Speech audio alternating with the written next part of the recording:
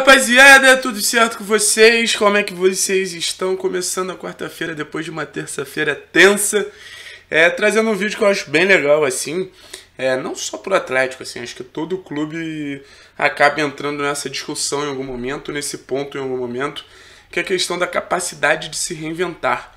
Um clube tem um contexto X, um contexto que muitas vezes é vitorioso, como foi no Atlético em 2018 e 2019, então é uma situação positiva só que o tempo passa, os jogadores saem, é, treinador sai, todo esse contexto que trouxe esses títulos não existe mais ou existe em menor escala.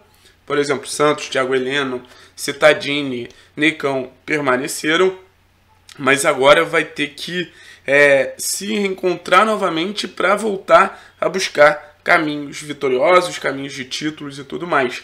Mas eu acho que o Atlético ele precisa se reinventar primeiro na questão técnica, na questão do poder do seu jogo, para depois se reinventar é, na questão das conquistas, voltar a ser campeão de títulos relevantes. Porque mesmo numa temporada ruim, numa temporada de muitos erros, o que aconteceu? Conta pra mim o que aconteceu. A gente foi campeão paranaense em cima do Coritiba. A gente não sabe nem se vai ter campeonato paranaense nessa reta final é, desse comecinho de ano, né? Nessa reta inicial, na verdade. Reta final do começo é complicado, né, rapaziada? Mas o que eu penso aqui é que o Atlético deve se tornar uma equipe forte, uma equipe competitiva, para os títulos virem de maneira natural. Eu gosto de usar muito o exemplo do Inter. O Inter em um ano foi terceiro no brasileiro, no outro foi segundo e ficou a 20 centímetros de não ganhar o campeonato depois de 41 anos. Essa temporada acho que entra mais forte com mais jogadores consolidados, mais jogadores prontos, quer trazer para o nosso mundo essa capacidade de se reinventar e tudo mais, ver como a gente vai lidar com o Sul-Americana. A gente teve um contexto muito vitorioso, uma conquista para chamar atenção, assim. Todo mundo que acompanha o futebol e olha, pô, o Atlético ganhou assim, assim, assado, vai falar, cara, que baita conquista, que baita título. Então, é um processo, acontece aos poucos, requer tempo, requer paciência, requer respaldo, mas requer algo que é muito interessante no mundo do futebol também, que é encontrar novos caminhos. Encontrar novos caminhos. E eu acho que isso prejudicou muito o Atlético na temporada passada, porque eles queriam, com ferramentas diferentes, traçar o mesmo caminho. Sabe? O Atlético chegou de avião até as conquistas. Vamos pegar aqui a analogia. O Atlético pegou um avião com o Thiago Nunes e chegou até a Sul-Americana e chegou até a Copa do Brasil.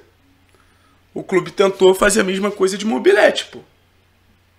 Mobilete não, mas de Jeep. Vai chegar uma hora que vai ter um rio que vai te impedir. Vai ter um mar que vai te impedir. Às vezes tem até um oceano que vai te impedir. E o Atlético sofreu ao ponto de entender que não era o mesmo caminho que ele teria que seguir. O destino final pode ser o mesmo. O Atlético de 2020, se fizesse um primeiro turno mais digno, poderia ter chegado no mesmo destino final do que a campanha de 2019 no Campeonato Brasileiro. Sabe? Não acho tão impossível. Mas ele tentou seguir pelo mesmo caminho. Isso é foda, rapaziada. Isso é foda. Porque parece que existe um modus operandi pronto, né? Mas aí quando a gente acha que tem esse modus operandi pronto, o que, que entra em questão? Contexto. Sabe? Contexto sempre é muito especial na análise do jogo. Sempre é muito relevante na análise do jogo. A gente não pode ignorar absolutamente nada quando se fala de contexto, sabe? Então o que, eu quero trazer aqui é como o Atlético pode melhorar, o Atlético vai melhorar, se o Atlético deve ou não seguir o mesmo caminho de 2020, e a resposta eu já adianto para vocês é não, sabe? Porque até mesmo da reta final da temporada, o Atlético fez ótimos jogos. Flamengo, próprio esporte foi um jogo bom, Grêmio foi um jogo bom, Inter foi um jogo bom, São Paulo foi um jogo bom, Ceará foi um jogo bom, Bragantino foi um jogo bom. Sabe? Todos foram bons jogos. Mas eu acho que pelo perfil do clube, pelo histórico recente do Atlético, se pede um pouquinho mais. O que o autor conseguiu fazer foi algo quase emergencial sabe? Um cuidado ali em emergência. Cara, eu preciso estancar uma sangria aqui. Chega um paciente ferido de bala, ele precisa estancar a sangria aqui e a gente bate muito na tecla. Fazer um jogo reativo é muito mais fácil do que fazer um jogo propositivo. E o jogo reativo, às vezes, acaba propondo o jogo em vários momentos da partida. Sabe, por exemplo, foi o que aconteceu com o Atlético em jogos mais simples, contra Vasco, contra Botafogo, contra Goiás. O Atlético, mesmo jogando de maneira propositiva, não, reativa, foi propositivo. Conseguiu impor o seu pensamento ali no jogo, sabe? Sua característica, sua qualidade técnica. Então acho que a primeira grande mudança que a gente tem é pegar um Paulo Autuori, que é um técnico que optou por esse caminho, e falar: agora você é head coach e vem o Antônio Oliveira. Não vou falar que o Antônio Oliveira vai fazer um jogo naipe Thiago Nunes, não é isso. Mas é um primeiro passo para se reinventar, é questão teórica. Sabe? A teoria sempre vem antes da prática. E o Antônio tem uma questão teórica de vários conceitos muito modernos no futebol mundial. Sabe? Ah, Thiago, o que é futebol moderno? Futebol que se joga pelas grandes equipes.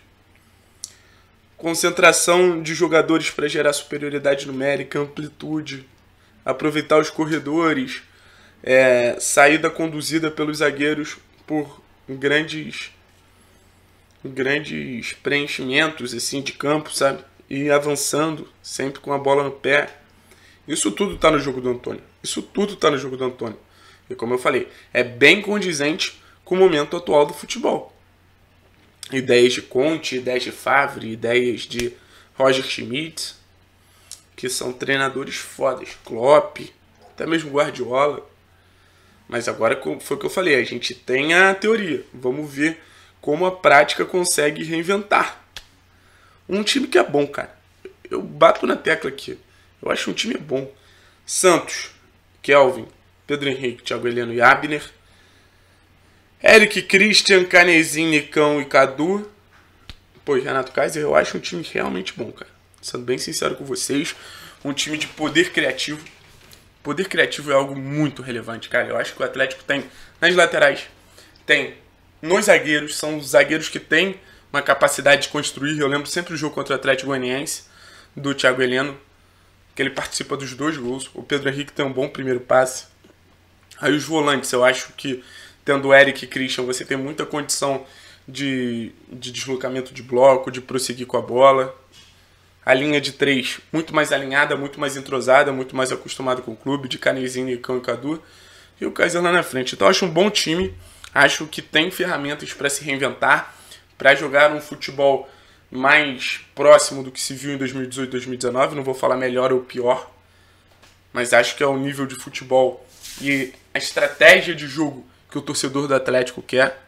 Então eu iria mais ou menos por aí. E, e fazer um Atlético forte novamente, assim como foi na reta final toda.